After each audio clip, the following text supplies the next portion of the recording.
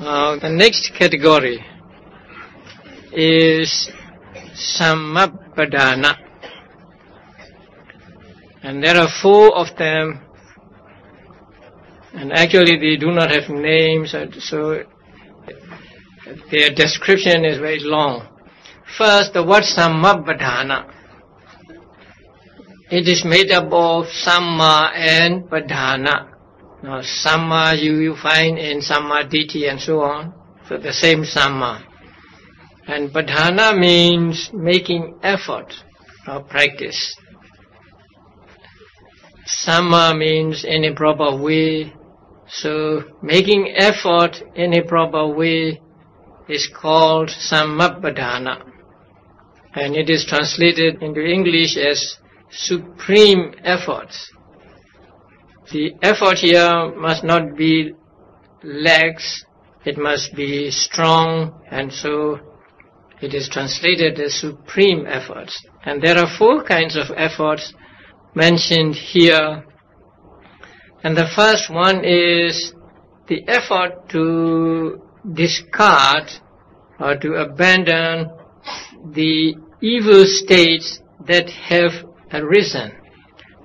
Now, evil states means unwholesome states. Unwholesome karmas that have arisen in one's mind say, in the past. And this is the effort to get rid of or to discard these evil unwholesome states that have arisen. Now, how do we discard the evil states that have arisen? Actually, that states have already gone. But here, to discard the evil states that have arisen means not to feel remorse about what akusala or unwholesome act one has done. Now, if we did something that is unwholesome, that is evil, and we have remorse about that act, we actually multiply our unwholesome karma. So by being sorry about that, by being remorseful about that act, we multiply the unwholesome karma. And what has been done is already done and you cannot undo it. So there is no point in feeling remorseful about the evil, unwholesome things that have been done. So not thinking about them and doing wholesome deeds instead is what is called the effort to discard evil states that have arisen. And we try not to do such evil states. We try to forget about these evil acts we have done and instead we do what is good or what is wholesome and that is the effort to discard evil states that have arisen. And the second is the effort to prevent the arising of unarisen evil states. Now there may be some unwholesome karma that we have not done in the past.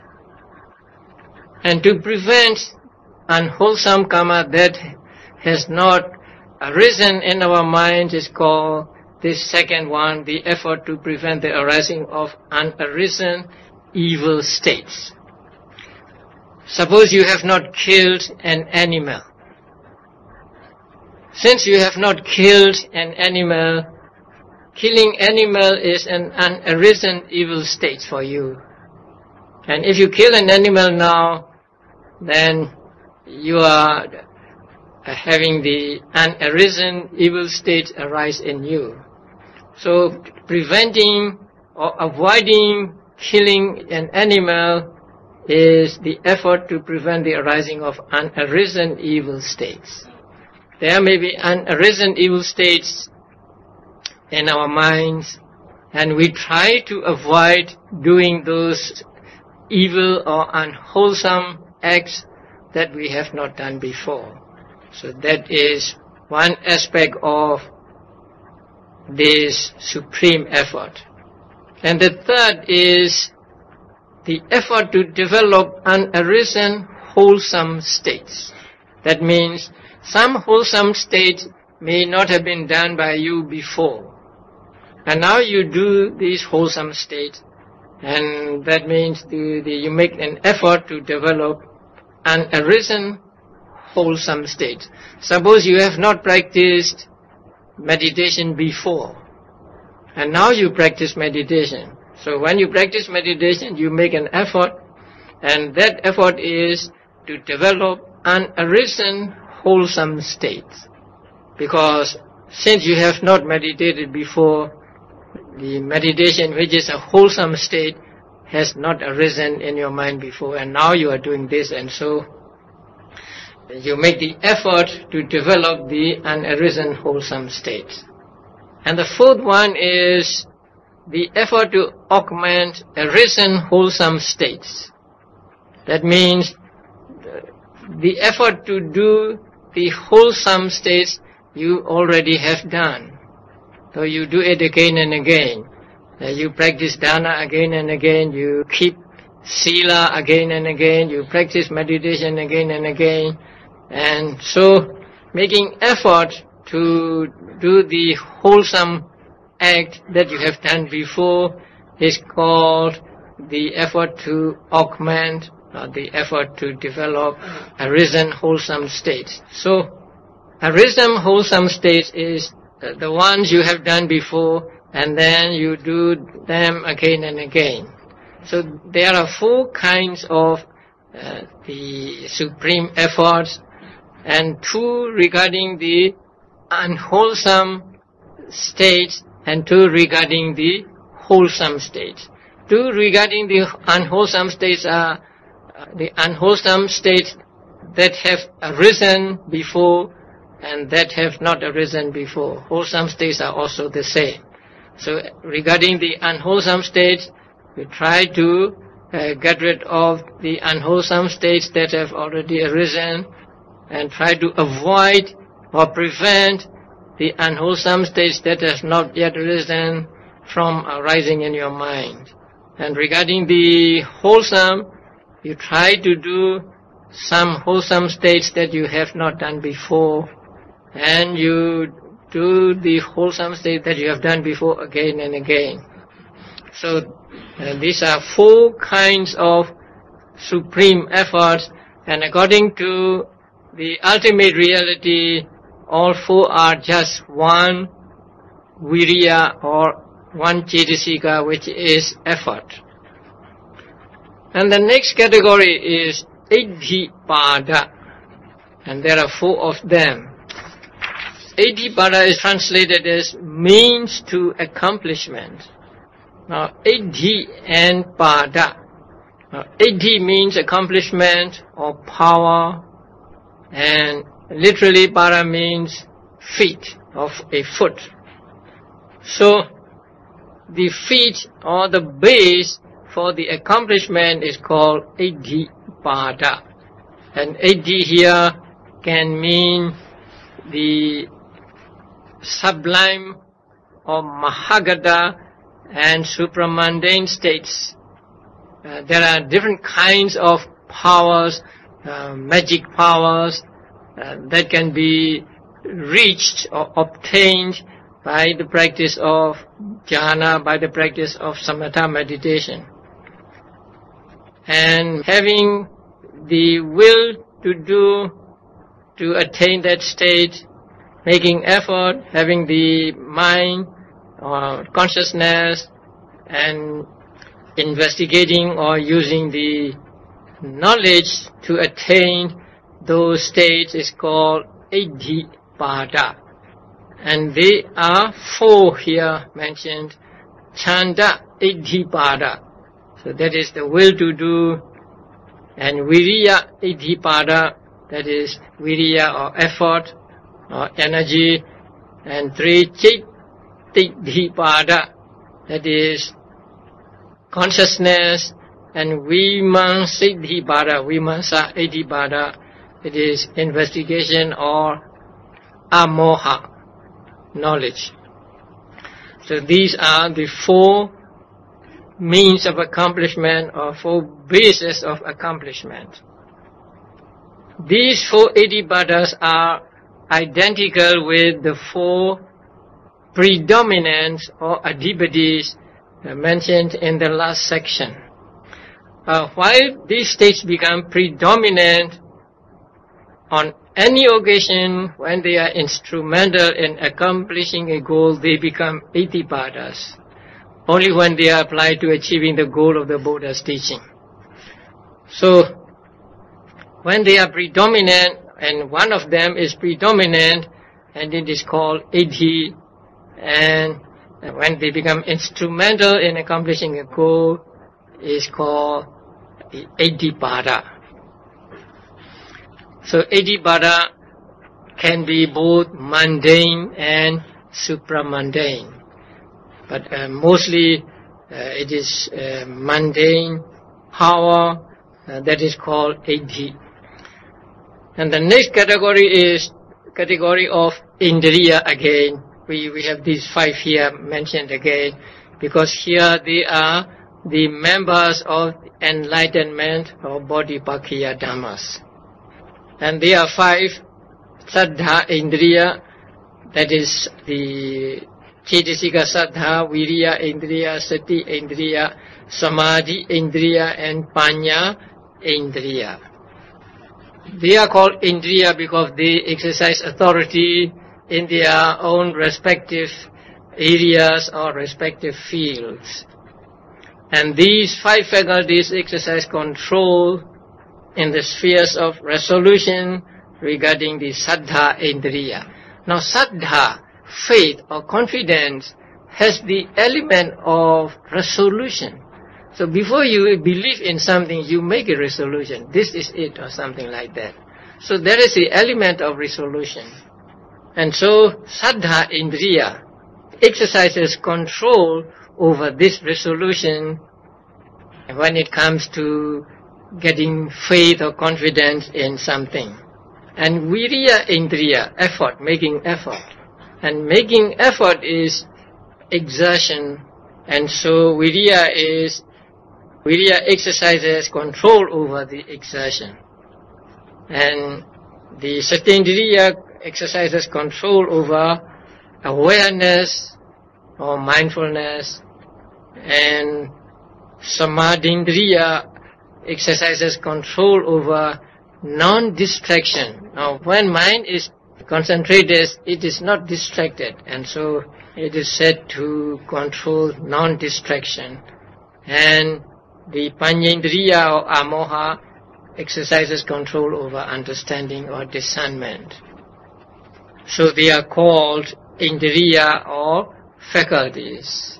Now, if you have been to a meditation retreat, especially Vipassana retreat, you may have heard the teachers say the balancing of the faculties.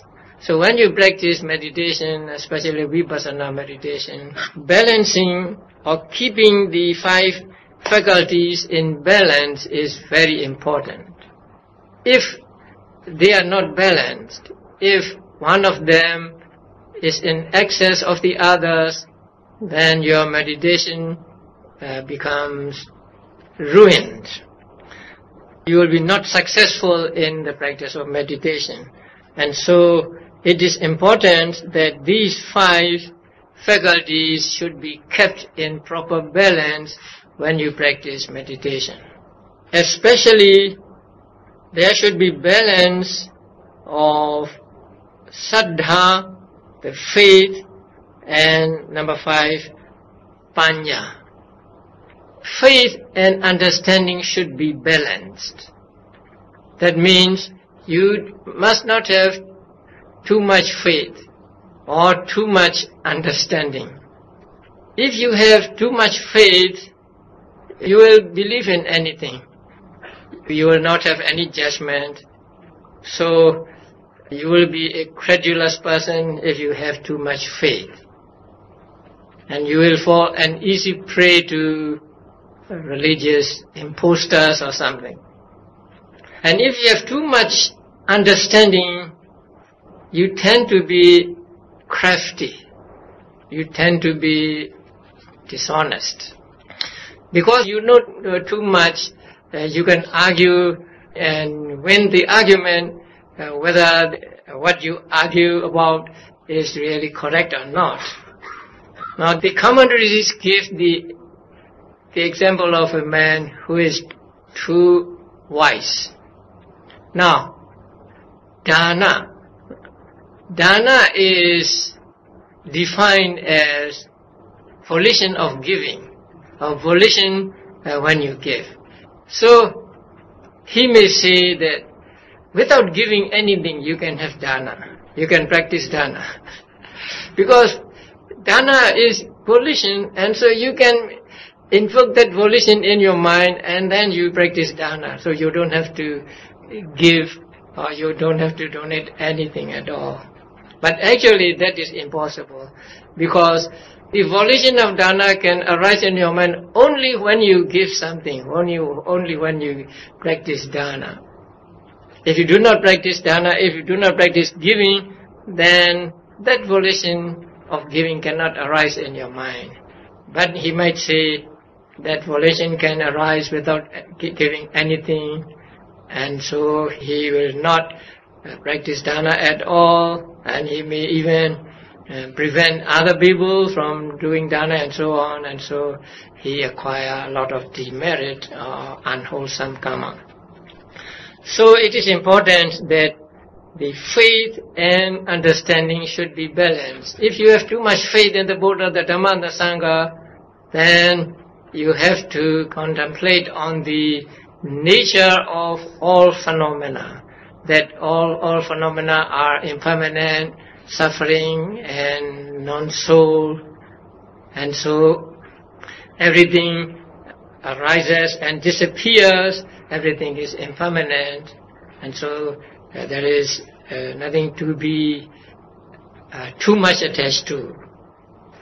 And if you have too much understanding that means your faith level is very low. So in that case, you step up your faith level by listening to Dhamma talks, by reading books, or by talking with somebody who is more knowledgeable than you are in the field of uh, Dhamma.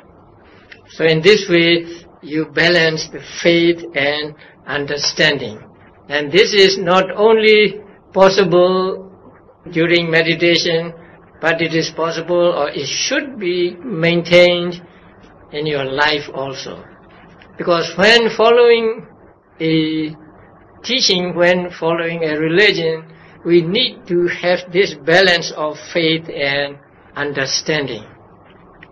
And too much faith will lead you uh, to, to believing in anything, indiscriminate believing, and too much understanding will lead you to craftiness. So your faith and your understanding should be balanced. Sometimes people are too intelligent, they think too much, and then they spend time or they waste time just by examining this and that and they don't do anything really rewarding. Sometimes people say, oh, chanting is not really taught by the Buddha. so there is no use in chanting and so on. So if you have too much understanding, too much uh, intellect, you may even think that way. Uh, so if you don't do that, you, you, do, you don't get wholesome karma. So you listen to the chanting and you get peace of mind, concentration and so on, and you also gain faith in the Buddha and so on.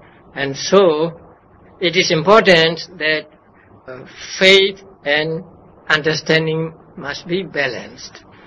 And also, especially when you practice meditation, the concentration and effort must be balanced. There should not be too much effort or too much concentration too much effort will make you agitated and you will find you cannot meditate. If you make too much effort, your mind becomes agitated and you cannot concentrate. And if you have too much concentration, you become lazy. Because too much concentration means now it's very easy for you to get concentration and so you don't make necessary effort. And so you become lazy or you become sleepy and you may be nodding like this when you practice meditation. So if for no apparent reason you are nodding like that, please note that the concentration might be too much. So in that case you have to do something say, to reduce the level of concentration. So when there is too much effort, then you, you slow down take the uh, attitude of I don't care. That is what I say to yogis. Have the I don't care attitude. Sometimes people are too eager to achieve something and so they make much effort and the more effort they make, the less they can concentrate. So in that case, just slow down and I don't care whether I get concentration or not, but I will just be mindful of the object at the present moment. You slow down and practice. If you think you have too much concentration, then you step up your energy by paying closer attention to the object or by increasing the number of objects you make notes of. For example, when you are practicing meditation and you are making notes of just two things, in, out, in, out, or rising, falling, rising, falling, and if you think you have too much concentration, you can add some more uh, objects as object of meditation like in, out, sitting, in, out, sitting, or rising, falling, sitting, rising, falling, sitting. Or you may add more like uh, touching, touching, touching, and so on. So by taking more objects at a time, you step up your energy. So when energy level rises, concentration becomes slowed down. So concentration and energy or effort should be balanced so that your meditation is good. Then what about sati, mindfulness? Now it is said that there is no such thing as excess mindfulness. So mindfulness cannot be too much. So you need to have strong mindfulness anytime, all the time. Mindfulness is a regulating mental factor. So when mindfulness is uh, developed, it keeps the other mental faculties in proper balance. It is compared to uh, putting salt in every dish. So when you cook dishes, you put salt in it. So salt is everywhere. In the same way, mindfulness should, is needed everywhere. So there can be no excess of mindfulness.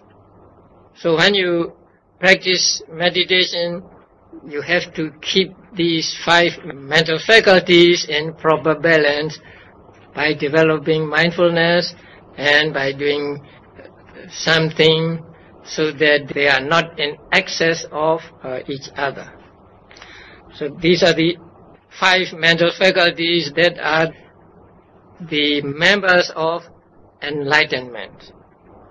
And then next category is the category of bala or power, and they are actually the same as the five indriyas or faculties. When we call them indriya, uh, we emphasize their ability to exercise authority over their respective area. And when we call them bala, I mean power, we emphasize their strength. We emphasize they are not being shaken by the opposites.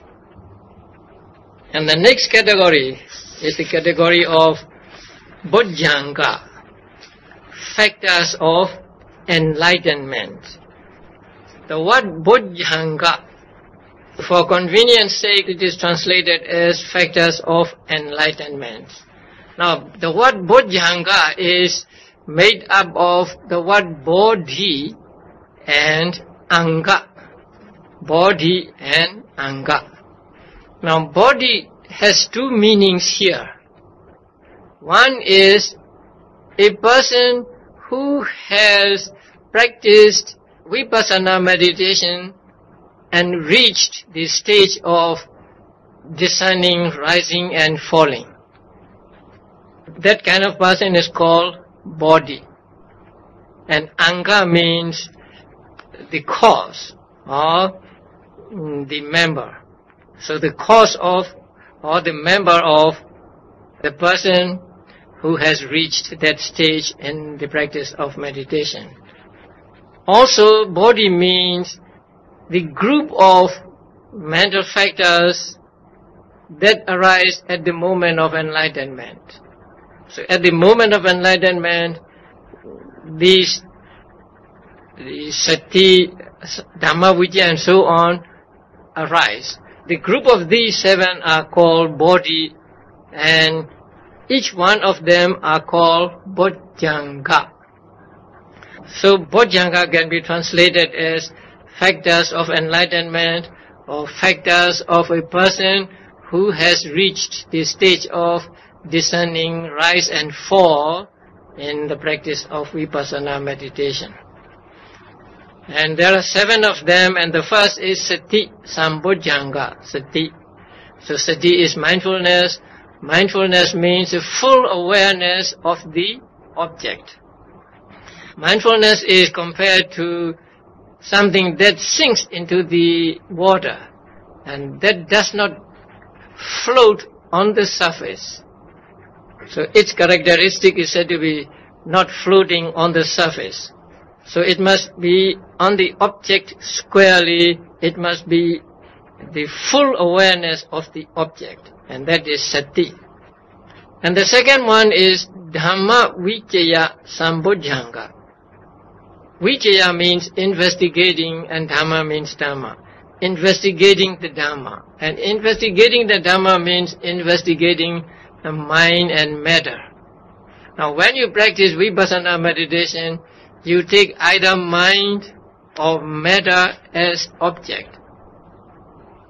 Being mindful of the mind or matter, the object that is at the present moment, you develop concentration and through concentration you come to see the true nature of mind and matter. When you see the true nature of mind and matter, this bojjhanga, this Dhamma Vijaya bojjhanga is said to have arisen. So Dhamma Vijaya Sambojjhanga is actually the understanding, the correct understanding of the object of meditation, correct understanding of mind and matter or correct understanding of the five aggregates. Because when you practice vipassana, you concentrate on the five aggregates. And number three is viriya sambojjhanga, viriya, making effort. So you have to make effort to be mindful. This effort is mental effort, not physical effort. So actually when you practice meditation, you don't do physical effort or you don't do much physical effort. But you have to make a mental effort. If you do not make a mental effort, you cannot be mindful. You cannot practice meditation. So making effort is called viriya sambojjhanga. And how much effort must we make? We must have strong resolution when we practice meditation. It is called four-limbed effort. That means let my skin, bones and sinews remain. Let my flesh and blood dry up. But I will not desist from making effort until I reach the stage I am after. Until I reach the stage of enlightenment. So with that resolution, you must make effort. That is what Buddha taught to his disciples. And that is what he did when he sat down under the Bodhi tree to practice meditation to become the Buddha. So after sitting down under the Bodhi tree, he said to himself, I will not break this sitting position until I reach Buddhahood. Like that. So the effort we make uh, must be a strong effort and not a lax effort. And then Piti Sambojjhanga. Piti Sambojjhanga is experience uh, when a yogi gains concentration and begins to see the impermanent suffering and non-soul nature of things and especially when a yogi sees the rising and falling. Now in the Dhammapada Buddha said that when a yogi sees the rising and falling of aggregates, he experiences a joy that is non-human. That means not experienced by ordinary human beings, not experienced by those who do not practice meditation. So that kind of joy you experience when you reach certain stage of uh, vipassana meditation. And number five is passaddhi, tranquility. Tranquility of consciousness and tranquility of mental factors. When there is piti, piti is uh, developed, then there uh, uh, arises what is called passaddhi or tranquility. The consciousness as well as the mental factors become tranquil and peaceful. And then number six is samadhi sambojjhanga, that is concentration. So concentration is a mental factor which keeps the consciousness and its concomitants on the object or let's say stuck to the object and which does not allow the consciousness and mental factors which does not allow them to be scattered. So concentration has these two things. It can keep the consciousness and mental factors on the object and when it keeps them there, it keeps them compact. It does not let them scatter away. So that is what we call samadhi. Now, samadhi is not consciousness. Samadhi is a cetasika or a mental state. So that cetasika or mental state can keep the mind on the object. And it does not let the components of mind or it does not allow the consciousness and mental factors to be scattered. So when there is samadhi, mind is like the water that has become clear. Before a yogi gets samadhi, his mind is like a muddy water. His mind is uh, contaminated uh, with what are called nivaranas or hindrances. Now you have uh, studied the hindrances uh, yesterday. When the hindrances are subdued, when the hindrances settles down, the mind becomes clear. So that is when a yogi gets concentration. Once mind becomes clear, a yogi begins to see the true nature of things. A yogi begins to see the object clearly and he begins to see the characteristic of that object or the features of that object and he begins to see that that object arises and disappears and so on. So what is important for the meditators is to get concentration. Once a yogi gets concentration, understanding or seeing the true nature just follows by itself. You don't have to make a special effort to see the true nature of things. Like when the water becomes clear, you don't have to make another effort to see what's in it. You just see it. So it is important that yogis gain samadhi or concentration or clarity of mind so that he or she sees the object clearly and the characteristics of that object and also the arising and disappearing of that object. Now the last one is Upekha Sambojjhanga. Now here Upekha does not mean neutral feeling. It is in Pali Tatra Majjhattata, equanimity. So this Upekha is not neutral feeling, but it is called equanimity, specific neutrality, right? This is like sati. So when this factor of enlightenment is strong, then the others are all kept in balance. Since the others are doing their function properly and a yogi doesn't have to make a special effort, then this upekha arises. So this upekha is compared to a driver of a cart drawn by say four horses or eight horses. When the horses are running properly, then the driver doesn't have to make special effort. He just look on and the, the horses are running properly. So in the same way, when upekha arises in the mind, then it actually uh, regulates the other factors in their proper balance. And when they are in their proper balance, then there is not much to do for the meditator. So he can just watch and let the meditation flow on and on.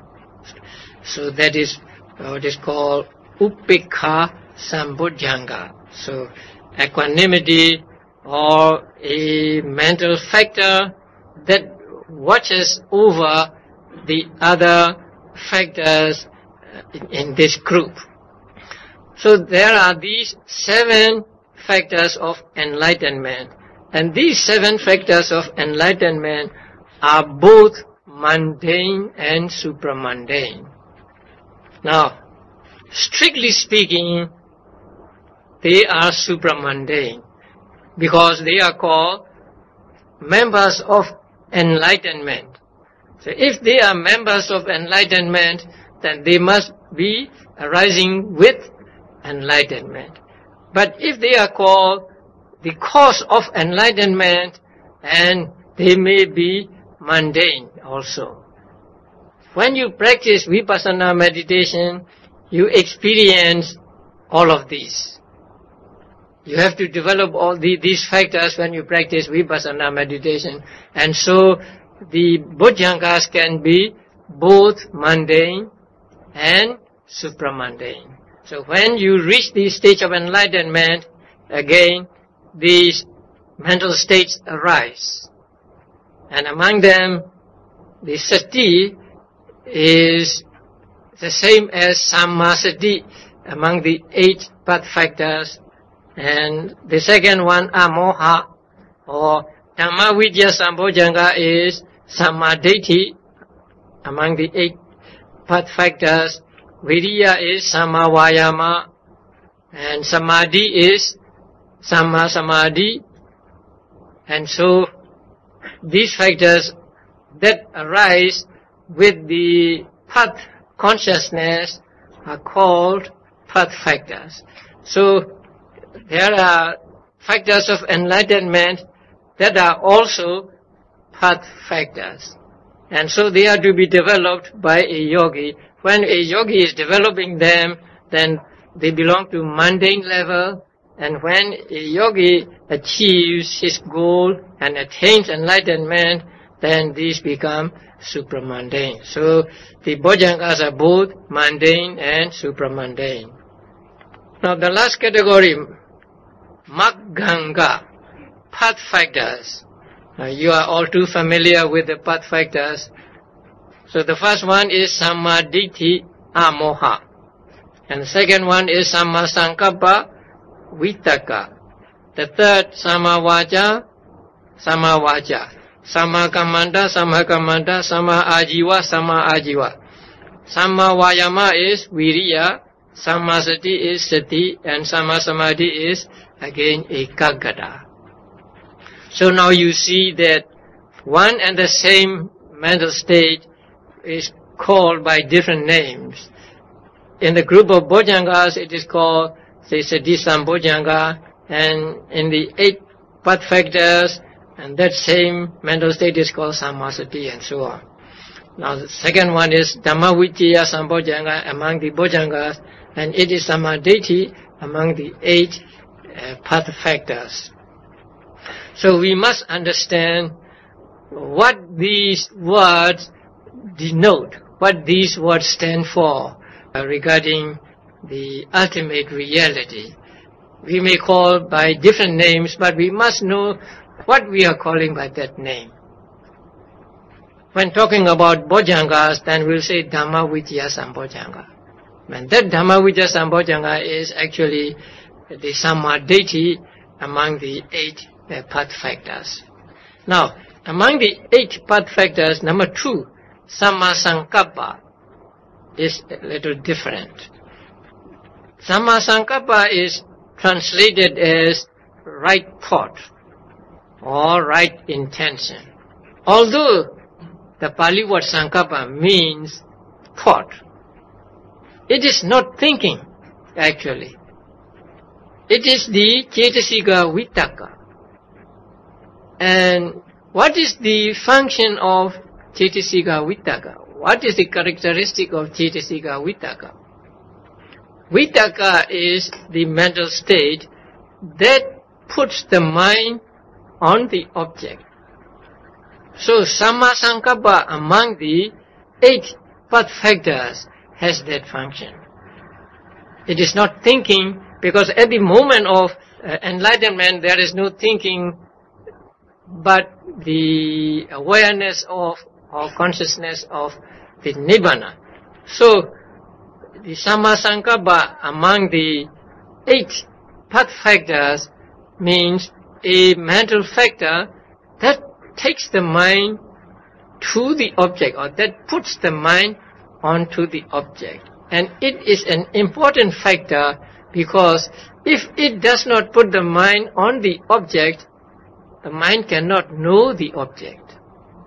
If it does not take the consciousness on the object, then consciousness will not see the true nature of the object.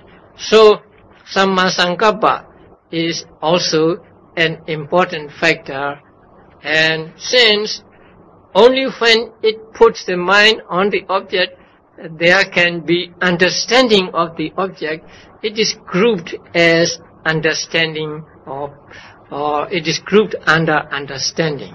Now, the eight path factors are grouped into three groups, right? A group of sila, group of samadhi, and group of panya. So number three, four, and five are grouped as sila because samma vaca, right speech, means abstention from wrong speech. And kammanta, right action means abstention from wrong action. And samma ajiva means abstention from wrong livelihood. So abstention means when you say panatipata veramani sikha padang samadhiyami, you are saying I will abstain from killing living beings and so on. So sila means abstention. So abstention from wrong speech, wrong action, and wrong livelihood are grouped as sila factors. So these three are sila factors. And then six, seven, and eight are grouped as samadhi factors.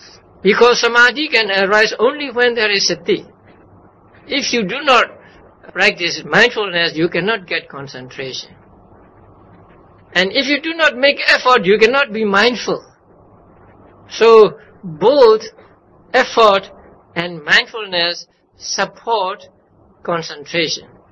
So they are grouped together as concentration group. Now number one and number two are grouped as Panya group, understanding group. Actually, number one is the real understanding. So number one is the mental state that really understands the true nature of things, that really understands Nibbana. But number two is also important because if it does not put the mind on the object, right understanding cannot understand.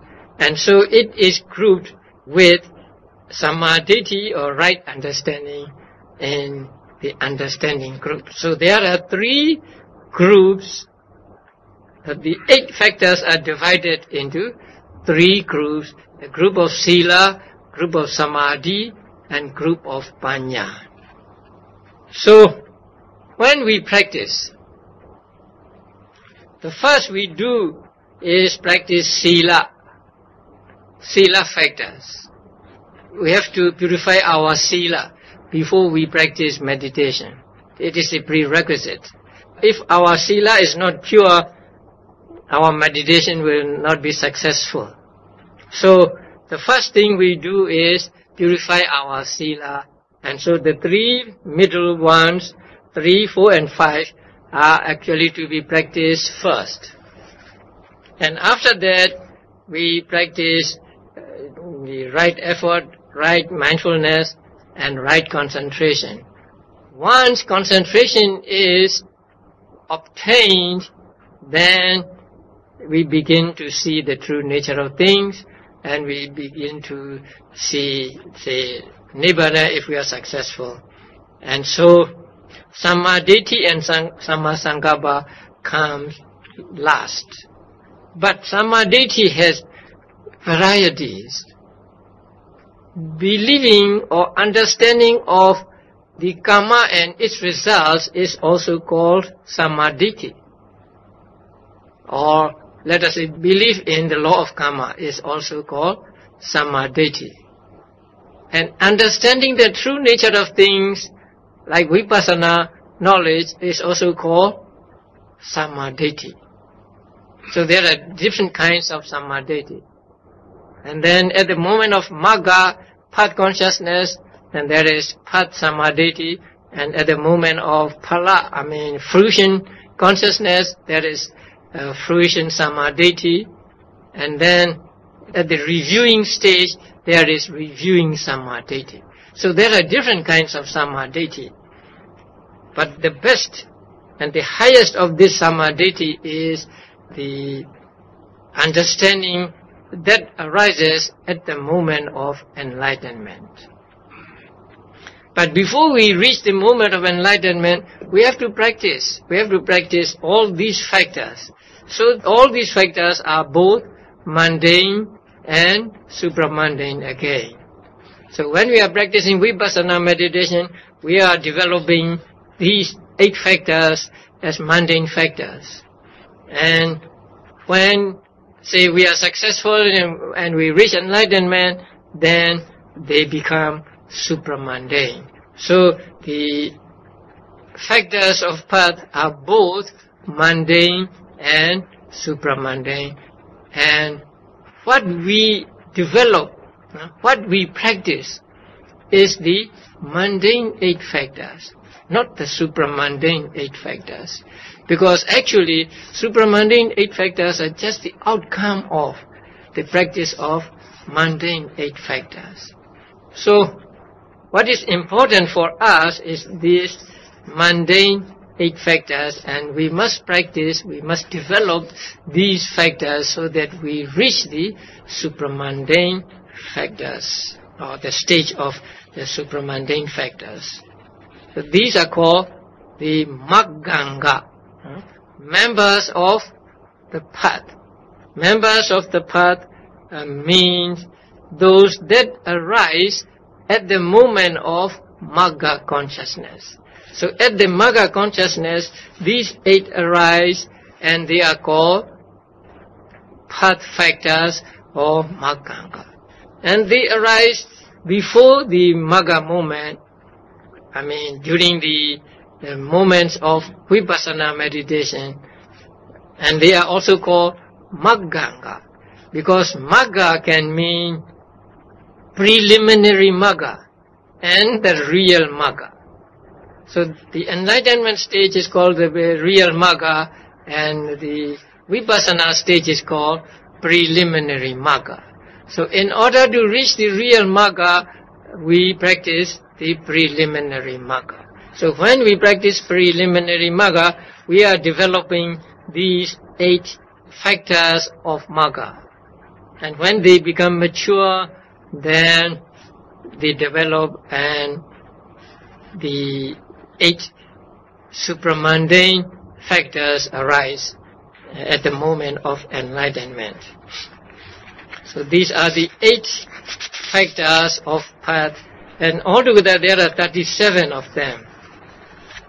Four foundations of mindfulness, four supreme efforts, four means of accomplishment, five faculties, five powers,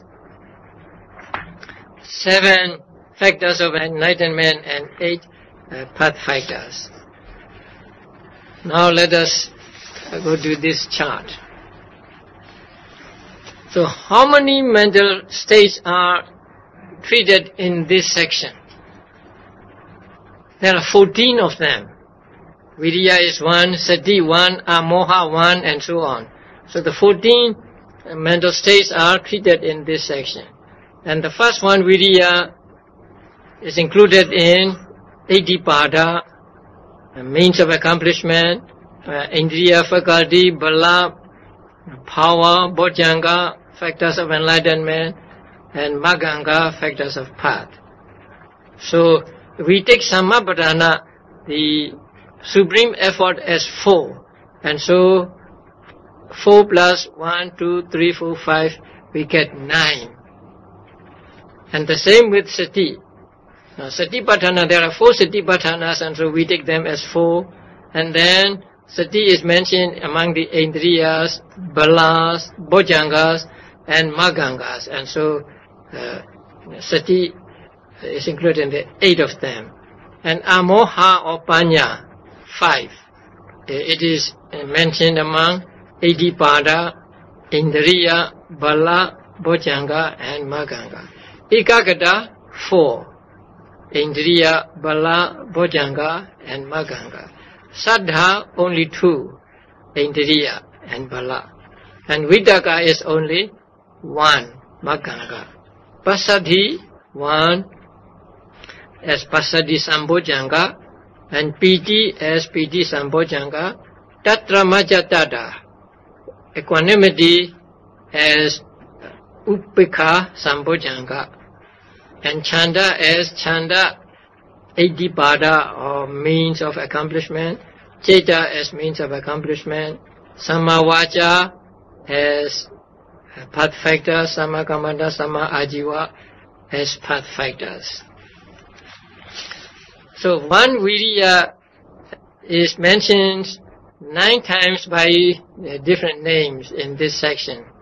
Four Sammapadhanas, one Iddhipada, one Indriya, and so on we must understand these names also so that in our reading we see these names, we understand.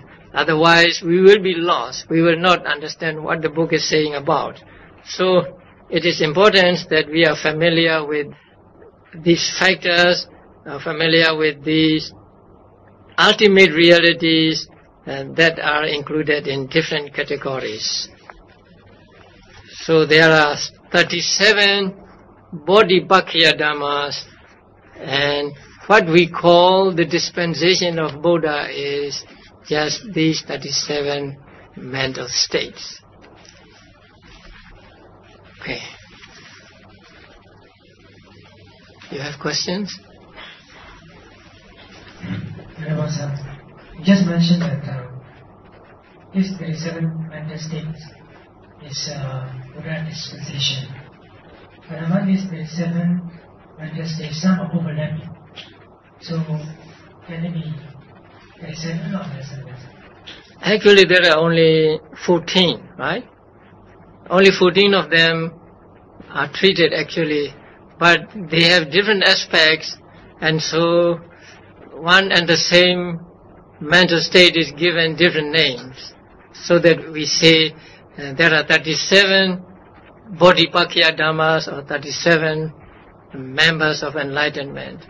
But in reality, according to the ultimate reality, there are only 14.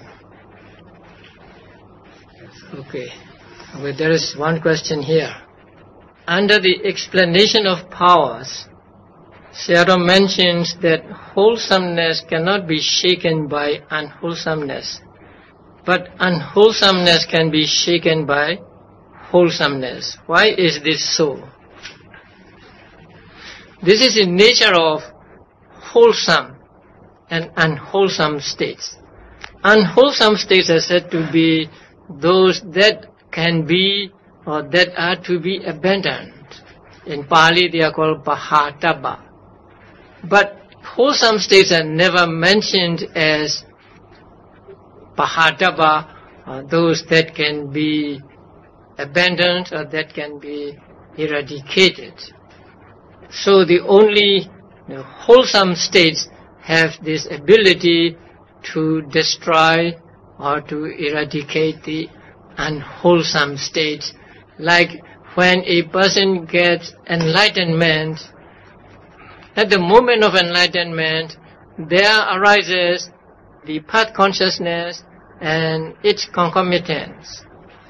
So path consciousness is a wholesome mental state and so the mental states also are wholesome at that time.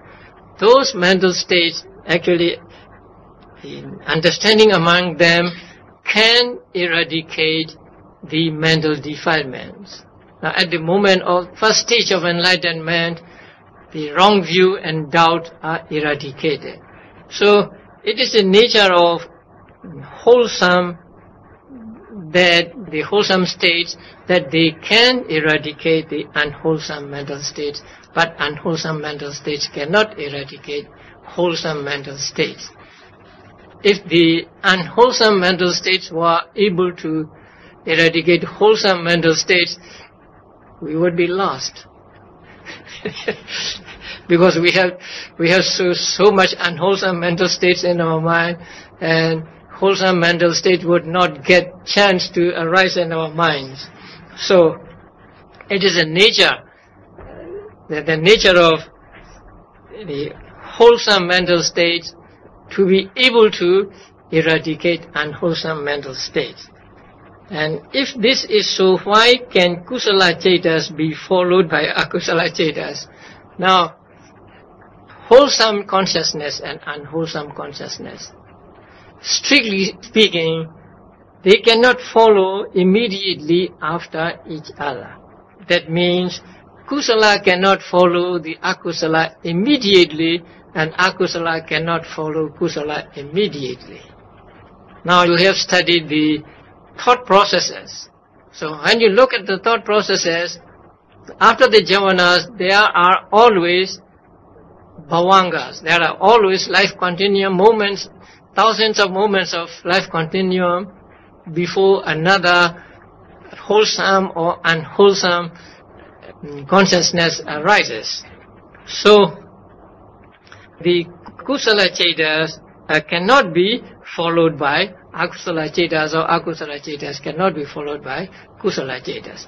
Now there is another relationship between kusala and akusala and that is the relationship of strong support, Upanisaya. So as Upanisaya, Kusala can support, I mean, wholesome Chitta can support uh, unwholesome Chitta and unwholesome Chitta can support Kusala, uh, wholesome Chitta. That means, suppose I did some akusala. And then I know that this akusala is going to give me uh, bad results in the future. And so I want to at least uh, get away from the consequences of those akusala. So I do kusala now. So my doing kusala now is influenced by that akusala in the past. In that way, kusala can be a strong support condition for akusala and akusala can be a strong support condition for kusala. So in this way, uh, they can be supporting each other. But kusala, as I said before, cannot follow akusala or akusala cannot follow kusala immediately. So that there must be moments of bhavangas and moments of other uh, types of consciousness between kusala and akusala. When I meditate on what concentration, there is a lot of pressure on the forehead that remains. How can I remove such sensation? Now, you do not remove the sensation. You just try to understand the sensation. So that is the important thing. When people feel something like sensation here or pain, they think that they are they are going to try to get rid of that pain, uh, that here the sensation. But a vipassana is not not like that. Now Buddha said uh, there are three kinds of sensations, and it is for the full understanding of these sensations that you practice the full foundations of mindfulness. So that means, let us say, when you have pain and you try to be mindful of it, it is not for getting rid of them, but to understand them, to understand them correctly, to understand them fully, to understand that what you think to be a solid pain is actually not one solid thing, that it is composed of the small moments of pain, and also this pain arises and disappears. So you get the full understanding of, of pain. And through the strong concentration, the pain may disappear. So disappearance of pain is not the aim in trying to be mindful of pain. And so here also you have the pressure on the forehead. Just concentrate on that place and be mindful or make mental notes as pressure, pressure, pressure, pressure. Or if it is heaviness there, heavy, heavy, heavy, and so on. And don't want it to go away. If you want it to go away, it may stay longer with you. because somehow you have you have some some kind of attachment to it. So just be neutral towards it, and just uh, like a spectator. Uh? Now, when you are watching something happening at a distance, you know what's happening there, but you are not involved in it. So in the same way, uh, you have a, a, sensation, whatever sensation it is, you have a sensation there, you just see them as just a sensation and not your sensation. Or not that, not that you are uh, experiencing that sensation. If you connect the sensation with you, let's say I, if you connect the sensation with I, it will become worse. It will become more painful or more severe, and it may stay with you longer. So whether it is with you or not is not important, but what is important is you understand it while it is there. So you pay close attention to the sensation and hear the pressure, and through concentration, it will disappear. But don't want it to disappear, uh, just watch it and let it go by itself. So, whatever sensations you feel, don't try to get rid of it. Stay with it. And be mindful of it and understand it.